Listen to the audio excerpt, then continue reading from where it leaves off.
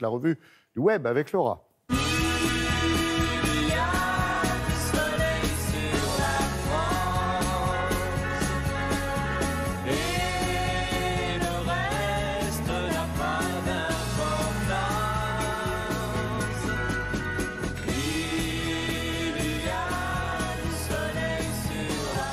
Bonjour Laura, Bonjour. je vous arriver avec euh, du bleu, du blanc et du rouge. C'est vrai qu'on est 100% cocorico ce matin avec vous. Bah oui, puisque vous savez qu'il y avait le salon du Made in France. euh, À parler avec Isabelle notamment. Qu'on appelle le MIF maintenant. Ouais. À ne pas confondre avec la MILF. hein. Ce sont deux. Pas pareil. hein, ce n'est pas pareil. hein.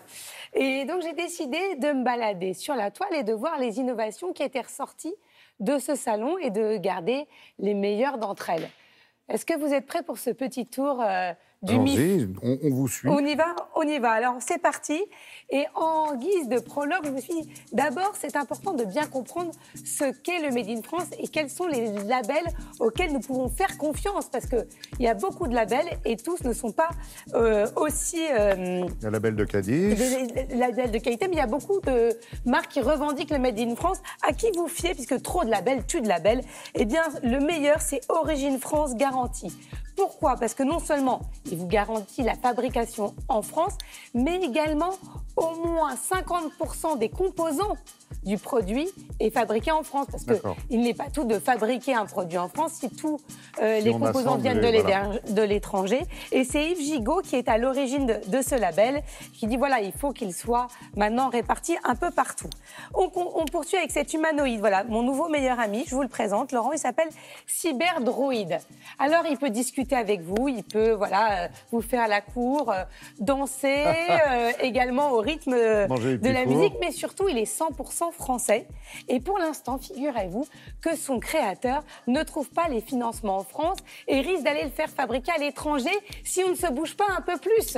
Ah, Donc, euh, ceux qui nous regardent, euh, si vous êtes, euh, vous avez un fonds d'investissement, il faut investir dans Cyberdroid pour pas qu'il n'aille ailleurs, outre-Atlantique, se faire fabriquer. On continue, autre coqueluche du salon, et vous allez comprendre pourquoi il s'agit de Bob le lave-vaisselle, qui a pour euh, velléité de remplacer Bob l'éponge. Qui c'est ce Bob Et donc, il pèse 10 kilos. Il a été fabriqué par deux Vendéens. Et l'idée, c'est voilà, de, de laver tout ce qui est tout petit. Exemple, Mhm. nos, gobelets le matin, votre mug là, le mug télé matin, vous le mettez euh, dans Bob et il ressort tout propre. Petit, C'est petit. c'est pour limiter euh, le, le plastique. Ouais, Non, mais est- c'est un tout petit, c'est un miniature. ouais, enfin un dé à coudre éventuellement, mais ça c'est pas petit quand même. Ah, Bref.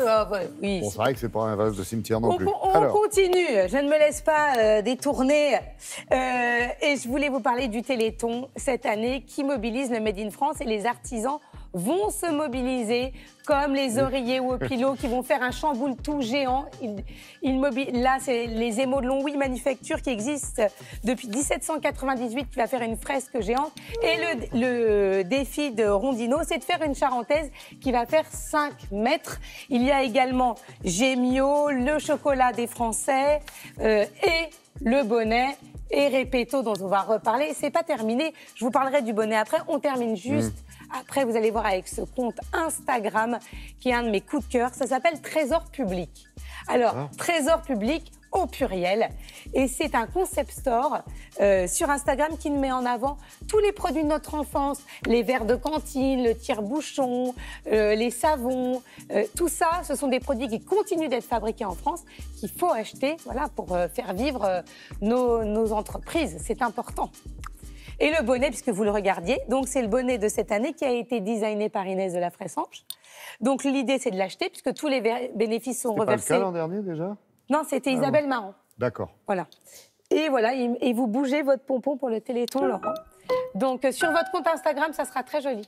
D'accord. C'est terminé déjà? Merci. Bah oui, c'est fini. Ah, c'est pas de si saison bien. encore le bonnet.